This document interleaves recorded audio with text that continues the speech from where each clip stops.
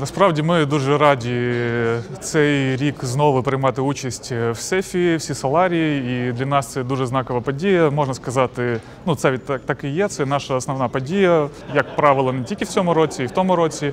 Ми завжди приймаємо участь. В цьому році, як вже було багато сказано, ринок розвивається не так ефективно і швидко, як в тому році. Але тим не менш ми бачимо позитивні деякі зміни. Ми бачимо перспективу.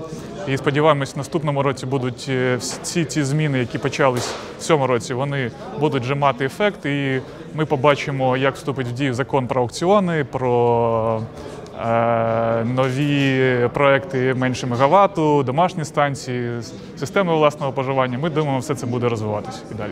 Е, Фактично, я суть мого докладу була сьогодні про те, що ми як компанія все ще тут на ринку. Ми диверсифікуємось, як і намагаються робити інші компанії, бо в цій складній складній ситуації в цьому році.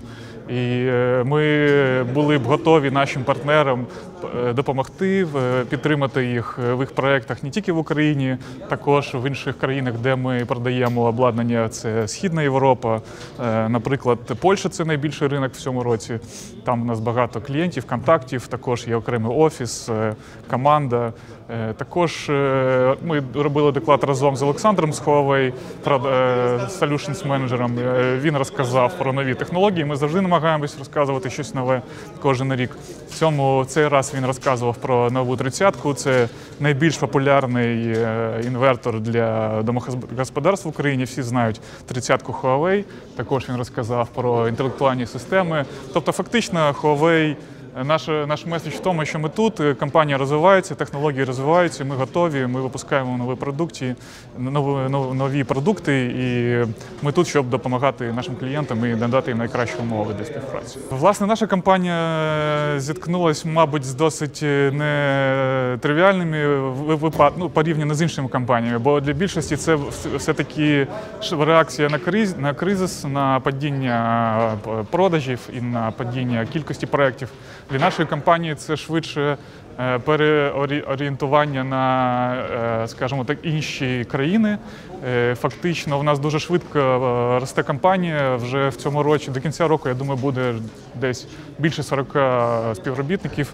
Хоча, наприклад, там пару років тому було 10 для, для порівняння. Тому для нас зараз дуже, скажімо так, челенджін виклик для нас це. Е, швидкий розвиток, але його треба робити плавно і правильно, і е, розраховуючи всі організаційні процеси, і, і налад, фактично це на- наладження. е, Настройка роботи в офісах в інших країнах, країнах, в яких зараз активно є продаж. Тобто переорієнтація в якомусь плані, якомусь оптимізація. Ми намагаємось використати цей час для того, щоб проводити більше тренінгів. Е, Ми також розвиваємо зараз новий регіон, новий напрямок для нас це Арменія, Грузія. Ми зараз запускаємо нові продукти. Це будуть системи накопичення і продажу, комерційні, домашні. Е, Я бачу основні пріоритети: це зменшення викидів, Go Green, відновлювана енергетика. Все це треба робити поступово, треба робити системні зміни, реформувати. Тобто, в принципі, те, що відбувається в нашій країні, воно по факту це все позитивно, бо це шлях, він е, не- дуже легкий, він складний, але потроху е, сектор е, реформується. Я бачу я чесно з початку року був дуже трохи песимістичний. Зараз я бачу, що на наступний рок е, я впевнений, буде ситуація краще. Буде більше проєктів для домогосподарств або як мінімум на тому самому рівні, тобто це десь приблизно 300-400 МВт. Я вже собі приблизно порахував на наступний рік.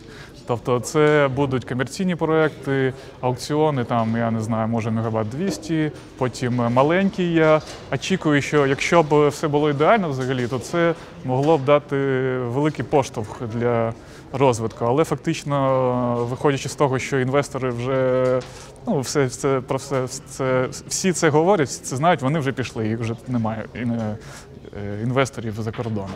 То якщо б ситуація була, наприклад, як рік тому і був цей закон, то це могло б дати поштовх ще на гігавати. А зараз воно також буде якось розвиватися, але ну подивимось. Ну і системи власного споживання, і накопичення, і так далі. Тобто воно все буде якось розвиватися.